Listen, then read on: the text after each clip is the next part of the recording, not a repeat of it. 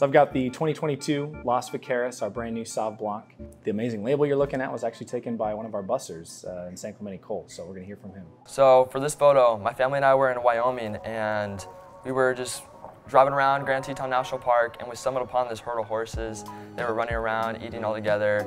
The scene was absolutely beautiful. There was a slight bit of haze, golden white sky, the golden grass along with the sun rays. So I found these two just kind of eating next to each other and I was like, this would be a beautiful scene just to portray being with family and enjoying the time. So this Sauv Blanc is gonna fit right in with the lineup that we have right now. It's, it's light, it's bright, it's acidic, very pleasant. We've got notes of fresh squeezed grapefruit, a little lime peel. Um, definitely get some nice aromas of guava on the nose, little lemongrass, and a nice um, like finish of, of, candied pineapple. We're really excited for you guys to get to try this. Come on into your local uh, RCW location and let us know what you think.